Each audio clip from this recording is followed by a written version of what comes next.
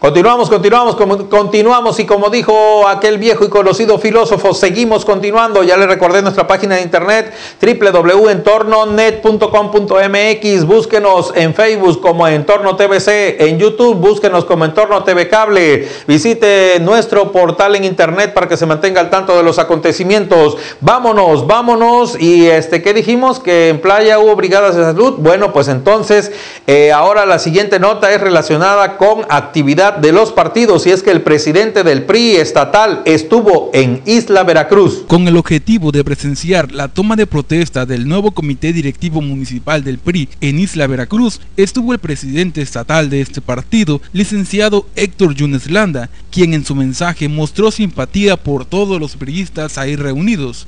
Aquí he venido muchas veces y siempre quiero seguir viniendo, porque me encuentro siempre con la gente de este lugar. Aquí tenemos un gran potencial político. Enfatizó que se está trabajando con muchas ganas y dedicación para ganar las próximas contiendas electorales. Como se va a ganar aquí en Isla la elección de diputado federal, la elección de senadores y la elección de presidente de la República. Es lo que vamos a hacer.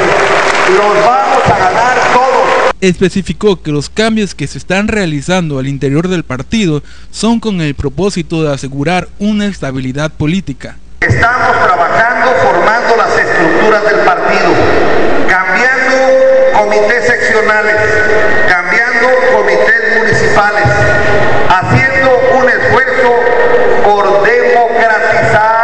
Llegado el momento, fue realizada la toma de protesta al nuevo comité, integrada por Marcelino Orioste Burrola como presidente y Marisela Gómez Moreno como secretaria general.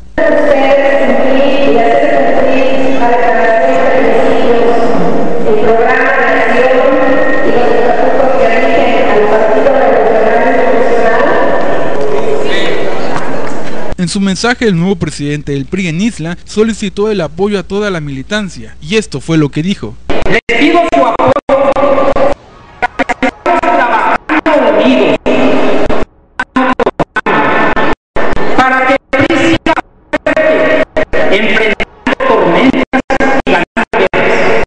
Por último, entregaron reconocimientos a los priistas más destacados de Ciudad Isla, entre los que estuvo don Rubén de la Fuente Rodríguez, Amelia Reyes Palacios, entre otros. Vamos rápidamente con más información de Isla Veracruz. Tránsito. Tránsito implementa operativos de vialidad. Aquí está la información que nos da el delegado. Con la finalidad de concientizar a los conductores de autos y motocicletas, la Delegación de Tránsito de Ciudad Isla Veracruz realiza operativos de forma periódica. En una entrevista concedida a este medio de comunicación, Vicente Poixtan Fernández, delegado de tránsito, comentó que estas supervisiones de vialidad son necesarias para el desarrollo del municipio. Comentó que se está preparando un operativo de motocicletas en donde participe la ciudadanía y autoridades municipales. Posteriormente queremos hacer un operativo de, motocicleta, pero lo queremos hacer de la manera que todos participemos como autoridad, en este caso invitar a Protección Civil,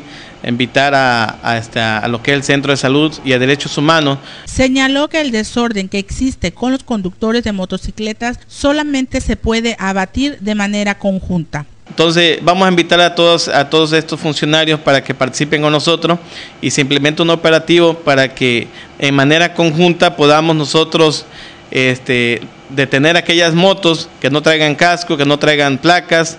Fue claro al decir que la detención de los conductores de motos que presentan alguna anomalía no serán multados, solamente se les invitará a cumplir con los documentos que marca la ley vial. Además, se les impartirá un curso para mejorar su forma de conducir. No se le va a levantar ninguna multa, invitarlos a que acudan a un curso de vialidad para que de esa manera este, ellos tengan conocimiento lo, lo que representa portar un casco. Precisó que para obligar a los detenidos a cumplir se firmará una carta compromiso. Simplemente se va a detener la unidad, se le va a hacer una, una carta compromiso donde ellos se comprometen a, a emplacar su unidad, portar sus cascos y además este, se le va a invitar a que acudan a un curso de vialidad este, porque nos hace falta mucha cultura vial aquí en Isla y tenemos que atacar ese problema de, de, vialidad en lo que respecta a las motos. El delegado de tránsito Poixtan Fernández dijo que estos operativos se realizarán con el firme propósito de salvaguardar a la población, pues de este modo se evitarán accidentes, ya que los conductores de motos acostumbran a transportar hasta tres personas y en ocasiones viajan con niños al frente de la unidad.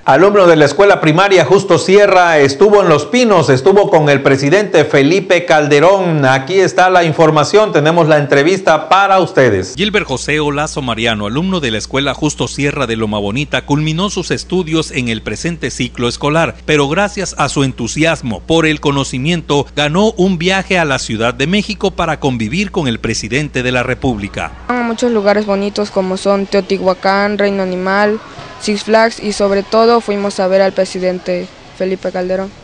Gilbert Josué tiene 12 años. Sus padres son Guillermina Mariano Reyes y Jorge Rodríguez Rodríguez. Este año concursó en la Olimpiada del Conocimiento a nivel regional, competencia que lo impulsó hasta la Olimpiada Estatal, logrando colocarse en los 20 primeros lugares. Pues fue muy bonito, nos llevaron a México Allá estuvimos, convivimos con el presidente y con todos los demás alumnos ganadores de la Olimpiada del Conocimiento a nivel nacional.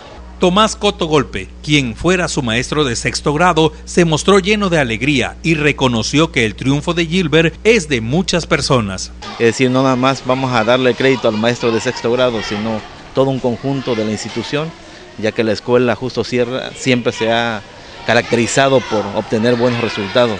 La directora del plantel, profesora Petra Rodríguez Rosales, manifestó su gran satisfacción de haber tenido entre la población estudiantil a un alumno tan destacado como Gilbert José. Yo quiero felicitar a Gilbert, a su familia, a nuestros maestros por este éxito que tuvieron, ¿verdad? Porque yo creo que sin el apoyo de ellos, pues no hubiéramos logrado este triunfo que de verdad yo lo disfruto cada día. Y... Al final, la directora felicitó a todos los maestros de la escuela y dijo que este alumno servirá de ejemplo para motivar a los demás, porque ahora ya saben que aquel que se esmere en sus estudios podrá destacar a nivel estatal y representar a la entidad oaxaqueña a nivel nacional frente al presidente.